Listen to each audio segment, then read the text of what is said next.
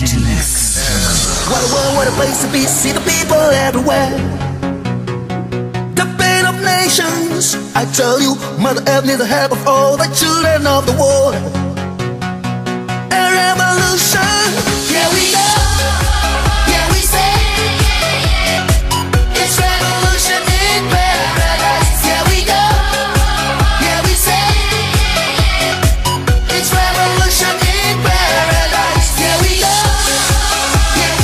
Jeśli słyszymy Beach Club 69, od razu w głowie rysuje nam się postać utalentowanego muzyka, który zwie się Inusa Dauda.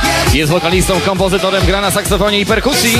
Znany z takich hiciorów jak Rumors, Down, Down, Down czy Children of the Night. W tym roku w sam raz na wakacje wydali remake Revolution in Paradise, który właśnie słyszycie. Energiczna dwudziestka. Wakacyjne muzyczne wspomnienia.